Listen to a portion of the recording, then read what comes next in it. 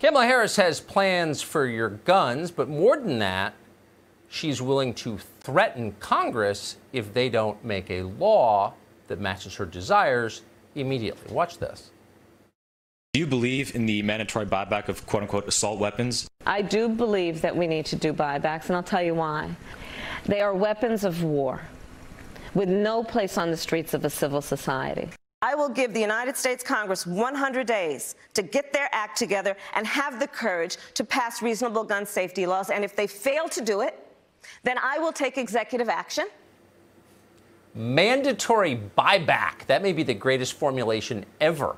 It's like mandatory donation. It's not a donation, it's theft. A mandatory buyback isn't a buyback, it's seizure, obviously. So, why does Kamala Harris want to seize your guns? For the babies, of course. We have to have smart gun safety laws. And we cannot tolerate a society and, and, and live in a country with any level of pride when our babies are being slaughtered. Babies are being slaughtered. Okay, so clearly we have mislabeled Kamala Harris. Turns out she's one of the few pro life Democrats in the Senate. Colion Noir is an attorney. He's a Second Amendment advocate. We're happy to have him on tonight. Mr. Noir, great to Thanks see for you. having me, Tucker. So Absolutely. it's for the Thanks for babies. So Kamala Harris cares about the babies. You obviously don't since you're for the Second Amendment. Defend yourself. Well, let's get one thing clear that I think a lot of people aren't really talking about. Uh-huh. We're talking about a potential Kamala presidency, not so much We a Joe are. Biden That's right. presidency, um, because he, his mental acuity is by far in question. That being said, what a lot of people don't understand is she's talking about a gun confiscation. There are a lot of people out there who are new gun owners who are saying, oh, no, well, you know, they're going to let you keep your guns. They just want these. No, it's a gun confiscation. And she, in the clip that you played, she talked about a mandatory buyback. But at, she did an interview in 2019 where she was, where she said she supported a forced gun buyback, which is essentially a gun confiscation. Yeah. So they can use so they're gonna use whatever pretty fancy words or euphemisms that she wants to use, but what she's talking about is literally taking people's guns. And I think people really need to grasp that and May stop may- falling may ask for you a question? all the fancy words that she's putting out there. So Yeah. this just just occurred to me. So she's calling for gun confiscation, a mm-hmm. mandatory buyback. That will be enforced with guns, right? Pretty so much, she yeah. wants to use guns to threaten people till they give up their guns. There seems to be an irony embedded at the center of this. Well, she's not inherently anti-gun.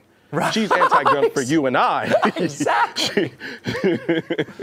But when it, when it comes to her, her having guns or whoever she has enforced her laws having guns, she doesn't have a problem with that. And this has nothing to do with the babies. It really doesn't. What it, what it boils down to is they really want to take all of the guns. Now, I know that sounds extreme, but let's think about it from a number standpoint. Less than 1% of gun deaths in this country are committed with AR 15s, which she wants to ban. So let's say she does get that ban. Then what is she going to say next when you, whenever we have another shooting that happens to happen?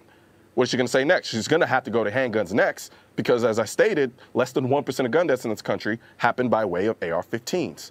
But, but wait, I don't think that's the do right saving lives. number.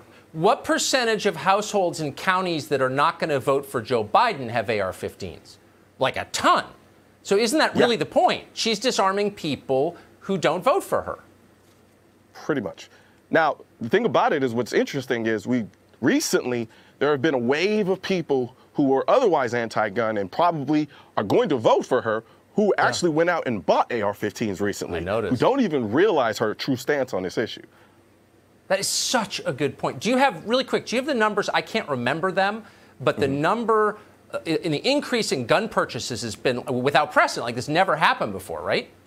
I, it's the I'll put it like this. I've been doing I've been a 2A advocate for almost 10, 12 years now. I've never seen it this high. Yeah, yeah. Well, people understand. Um, people who don't want to buy guns are buying guns anyway because they have no Well, choice. That tells you. I just hope that they understand that continuing to vote for people like Kamala Harris or Joe Biden is effectively them taking those guns away from them. That's right. You can't have no police and no self defense. That doesn't work. Kamala, by the way, we've been instructed to say Kamala, just so you know. Great to see you. Colion Noir, thanks for coming on. Absolutely. Thanks for having me, Tucker.